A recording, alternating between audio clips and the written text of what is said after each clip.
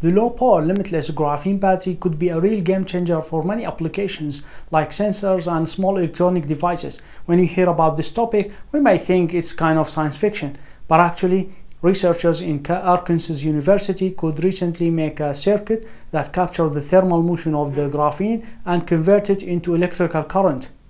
Well, if you haven't heard about the graphene or you don't know what is it exactly, we can explain simply. So the graphene is a new material that consists of a single layer of carbon atoms. This exceptional metal is transparent, 200 times stronger than steel, and capable of carrying heat away 10 times more efficiently than copper. Graphene is also extremely flexible, allowing it to be folded without breaking.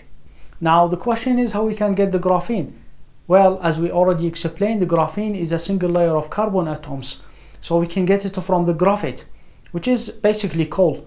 If we took the graphite and make it a thin single layer of atoms, we will get the graphene. The properties that we mentioned are very desirable, which will open the door for too many applications. Till now, the graphene has been used to cool down the devices that generate excessive heat, and there are many efforts to make use of the advantages that the graphene offers.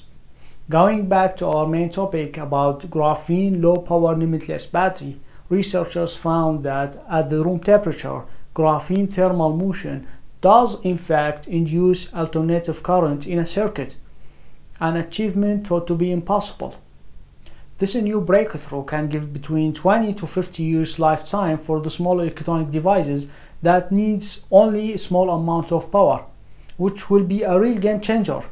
Hope you have enjoyed the video. Thank you so much for watching and I'll see you in the next one.